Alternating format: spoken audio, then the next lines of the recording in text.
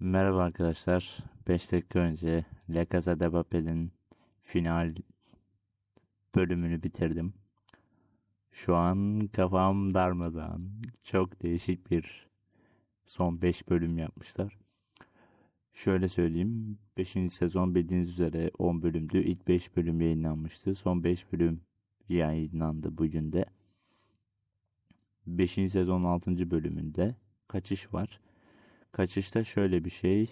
E, bildiğiniz üzere profesörün yanındaki polis doğum yapmıştı.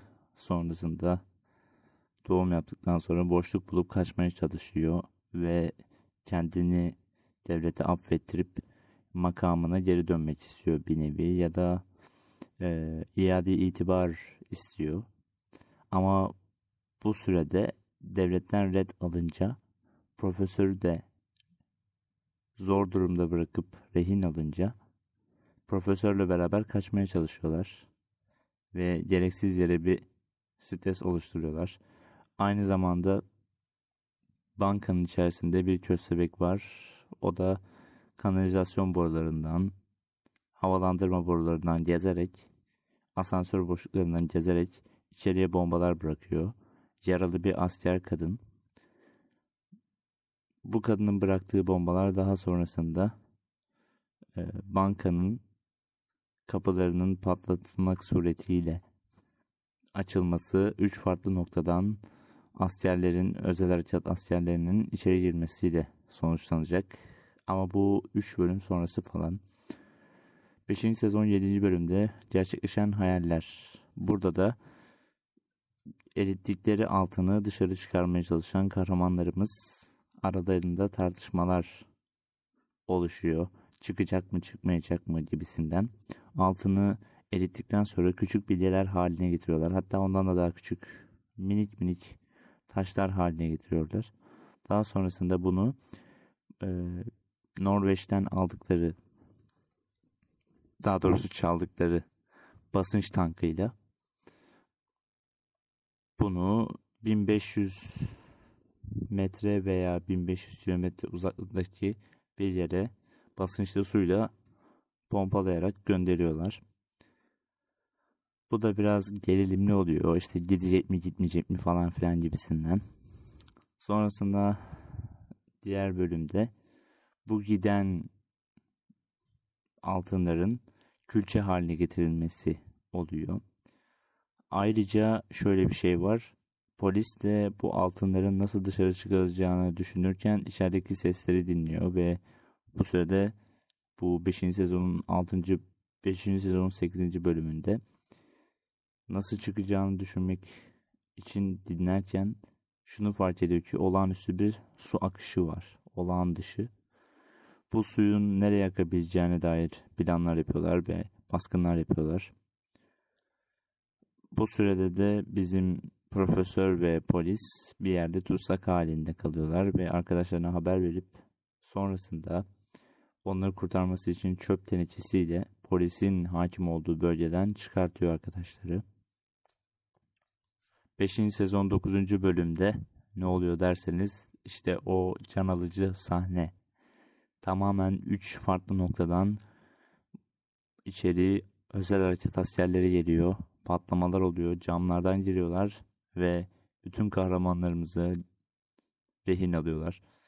Rehinelerin yanında, onların yanında ellerini kollarını bağlayarak koyuyorlar. Bu arada da şöyle bir şey oluyor. Bizim külçeleri yapan profesörümüzün yanında ki polisle beraber oraya bir polis baskını oluşuyor. Bu polis baskını aslında sahte ve külçeleri kaçırıyorlar. Bu külçeleri kaçıran kişiler de Berlin'in eski karısı ve oğlu. Daha sonrasında bunlar altınları, külçe yapılmış bu altınları alencirli yollarla izlerini kaybettirecek şekilde saklayarak bir yere koyuyorlar. Hatta nereye koyduklarını da söyleyeyim. Bir prefabrik evin altına çukur açıyorlar ve oraya koyuyorlar. Daha sonrasında prefabrik evi üzerini yapma çimlerle ve prefabrik evi koyarak sanki hiç dokunulmamış gibi sürekli sulanan çimlere de dokunaraktan orayı paket teslim bırakıyorlar.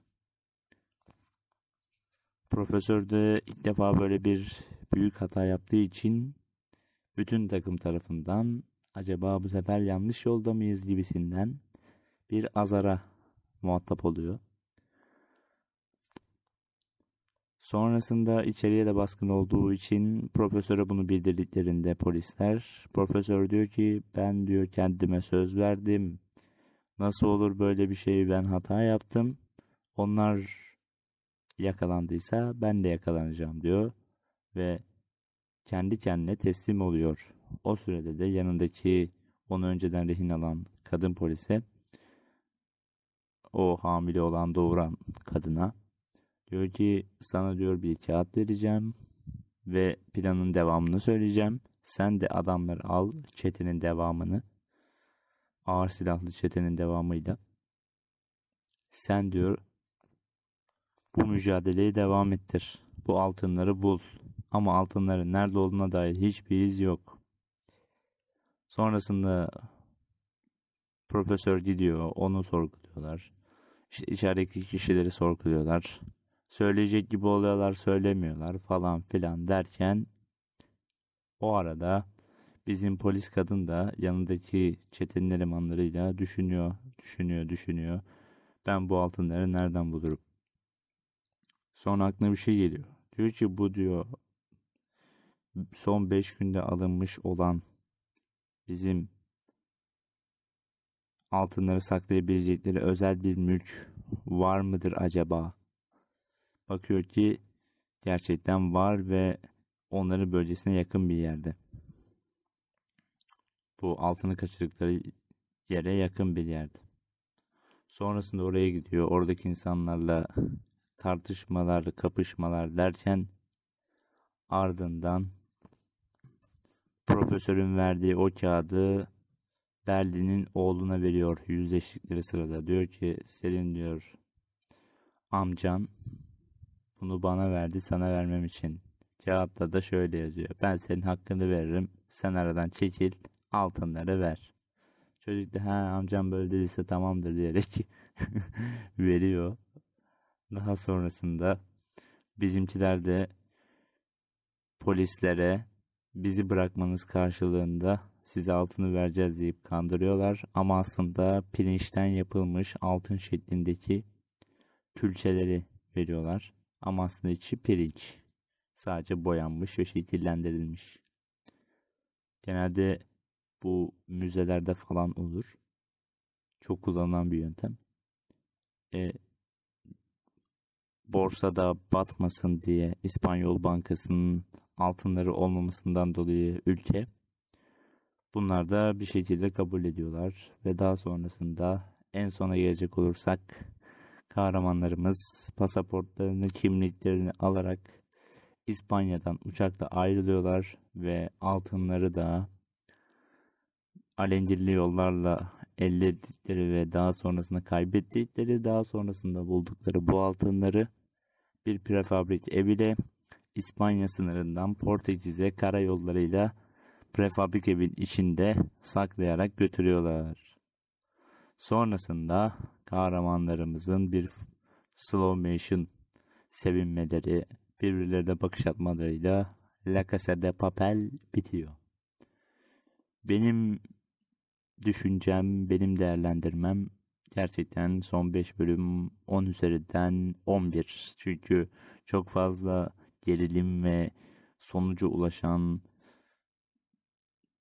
ama sonuca ulaştırmadan önce bize kanter yoran bir diziydi.